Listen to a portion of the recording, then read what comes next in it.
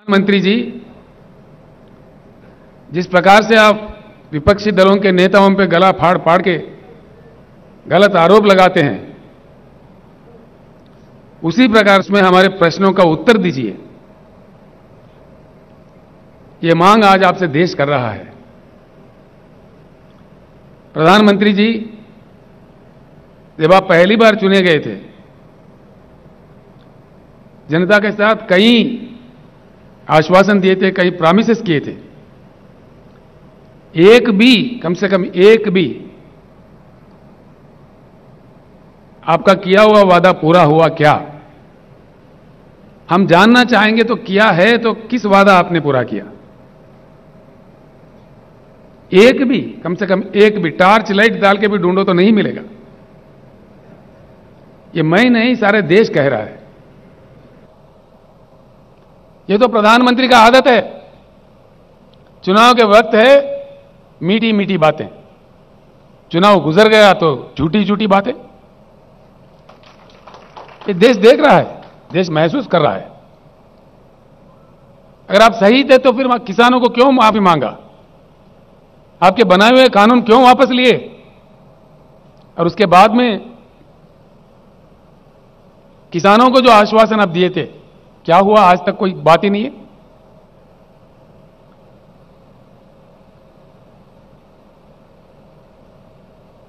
हर हालत से हिंदुस्तान बेहाल होते जा रहा है। किसान परेशान, बेरोजगार नौजवान परेशान, उद्योगपति परेशान इन्फ्लेशन बढ़ रहा है प्राइस राइज हो रहा है एसेंशियल कमोडिटीज का। आपका एडमिनिस्ट्रेशन का गुणवत्ता क्या है? क्या नतीजा मिला है इस देश को? लोकतंत्र का हत्या कर रहे हैं? राज्यों के सरकार को गिराने में आप व्यस्त है? अब तक नौ नौ सरकारें आपने गिराई है। यह आपके रिकॉर्ड में है।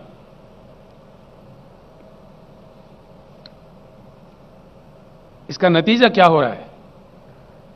किसी भी तरफ़ देखो, बेहाल हिंदुस्तान। किसान परेशान, जवान परेशान, नौजवान बेरोजगार परेशान, उद्योगपति परेशान। कौन खुश है आपके सरकार से? सिवाय आपके भाषणबाजी के सिवाय आपके झूठे प्रचार के, आपके अखबारी विज्ञापन से। कौन खुश है? हकीकत जानने की कोशिश कीजिए। कि आपके खिलाफ किस प्रकार का जन आंदोलन चल रहा है श्रीलंका देश में? क्यों चल रहा है?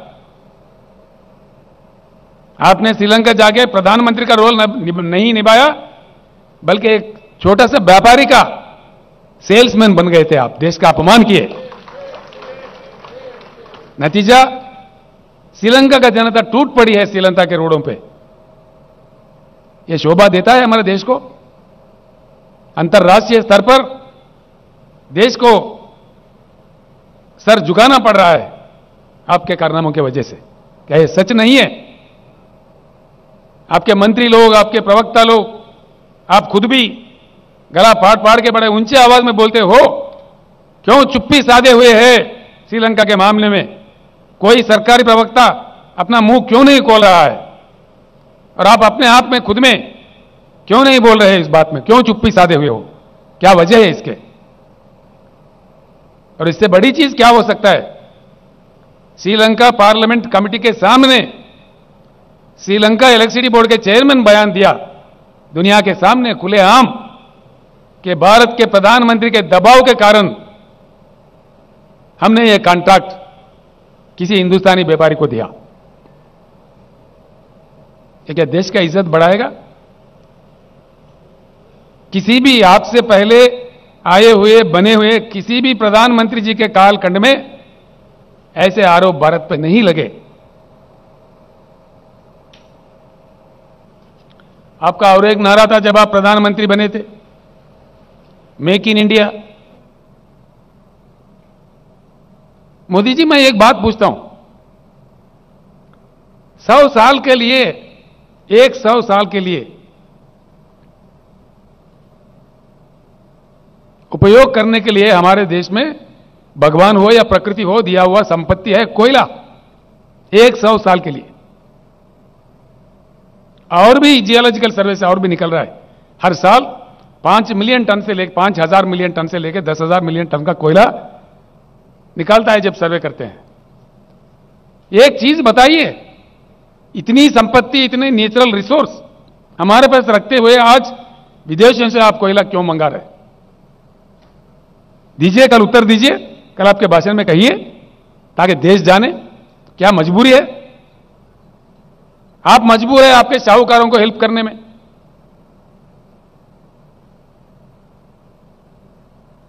आप तो है मजबूर, राज्यों के सरकार पे दबाव डाल रहे, हुकुम पे हुकुम दिए जा रहे, कि 10 परसेंट इंपोर्टेड कोयला इस्तेमाल करो वरना तुम्हारे कोल इंडिया से कोल सप्लाई बंद किया जाएगा। ये क्या दादागिरी है? ज़बरदस्ती है? ये लोकतंत्र का मान मर्यादा है? यशवंत जी, मैं आपके सामने रखना चाह रहा हूँ, हमने इनकार कर दिया। आप जो मर्ज़ी कर लो। हिंदुस्तान का कोयला चार हज़ार के अंदर एक टन मिलता है। मोदी जी का जो कोयला है, पच्चीस से लेकर तीस हज़ार का मिलता है। चार गुना, पाँच गुना ज़्यादा दाम देके क्योंकि इनका दोस्त है, एक साहूकार, वो इंपोर्ट करता है। इसीलिए मैं आपको टाइटल दे रहा हूँ कि आप प्रधानमंत्री का काम नहीं कर रहे हो, आपके शाहूकार दोस्तों का सेल्समैन बन के काम कर रहे हो। हाँ, बिल्कुल। फिएट कंपनी चला गया फोर्ड कंपनी चला गया जनरल मोटर्स चला गया डाटसन चला गया यूनाइटेड मोटर्स चला गया हार्ली डेविडसन चला गया क्या ये सच नहीं है? सर झुक जाता है शर्म से। सरकारी आंकड़े बताते हैं कालाधन डबल हो गया, दुगना हो गया। कालाधन कंट्रोल नहीं हुआ, लेकिन डबल हुआ। स्विस बैंक से पैसे नहीं आए। मोदी जी के कालखंड में दुगना हो गए डबल हो गए। रखेंगे हम भी देश के जनता के सामने? सही वक्त में? बिल्कुल है। किस किस देश से किस किस आपका व्यापारियों का आपने सेल्समैन बनकर काम किया? उसके पीछे कितने बड़े बड़े घोटाले हैं? देश जान चुका है मोदी जी।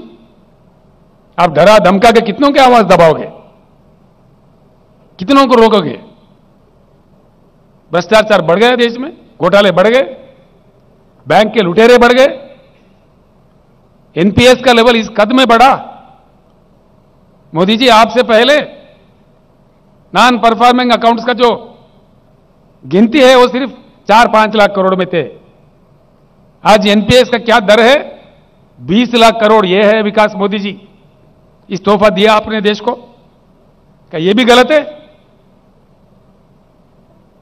हम जो कह रहे सच कह रहे आप ही के बताए हुए आंकड़े कह रहे ये हमारे आंकड़े नहीं है। These figures are not mind this figure has been given by the Honorable Finance Minister of India as an answer to the question in the Parliament. The rate of NPS in India today is about 18.6 lakh crores. पता नहीं उसके बाद में और कितने बड़े this is the reply by the honourable finance minister of India यह आपके गतिशील, विकासशील नीतियों का नतीजा है क्या? किस चीज़ का यह नतीजा है? आपके गलत कारनामों से, गलत उसूलों से, गलत फैसलों से देश का मान मर्यादा गिर रहा है, जीवन प्रमाण गिर रहा है लोगों में आक्रोश बढ़ रहा है। ये सच है। पंद्रह लाख देंगे, हर किसी के खाते में आ जाएँगे। पंद्रह पैसे नहीं है। लोग इंतज़ार कर रहे हैं, कभी कह रहे मोदी जी, हम तो आपको वोट देते रहेंगे, पंद्रह लाख पंद्रह लाख जब तक हमारे खाते में नहीं है। आशा है कि आप देंगे। कभी गा रहे हैं आपके गुणगान।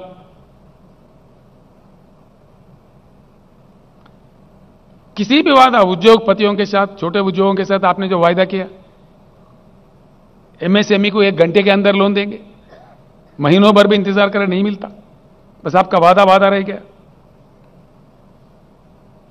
मोदी जी, आप जब रुपया गिर रहा था, जब माननीय मनमोहन सिंह जी प्रधानमंत्री थे, आप अपने गला फाड़ फाड़ के बोल रहे थे। आज रुपये का वैल्यू क्या है? मैं पूछ रहा हूँ आपसे। कल उत्तर दीजिए। भारत के इतिहास में पहली बार सबसे नीचा वैल्यू किसी प्रधानमंत्री के समय में नहीं हुआ। यह भी आपको शोभा देता है प्रधानमंत्री ji.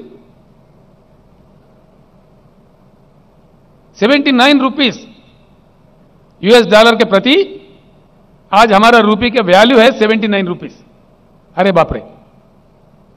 ये देश का हालत को बता रहे आपका कितना महान एडमिनिस्ट्रेशन है। इसका यह नतीजा है। आप ही कह रहे थे। मैं जानना चाहता हूँ भाई, नेपाल का रुपया नहीं गिरता, बांग्लादेश का नहीं गिरता, सिर्फ़ भारत का ही क्यों गिरता? हम जानना चाह रहे हैं मोदी जी, आज भारत का ही रुपया क्यों गिरता?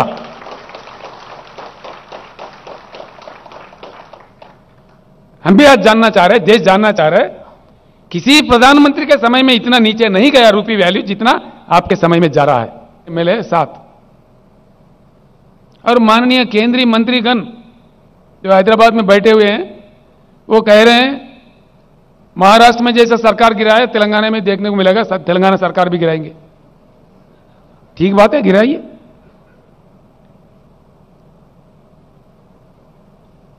हम भी इंतज़ार कर रहे हैं उस बात का, ताकि हम फ्री हो जाए। आपको दिल्ली से उतार देंगे।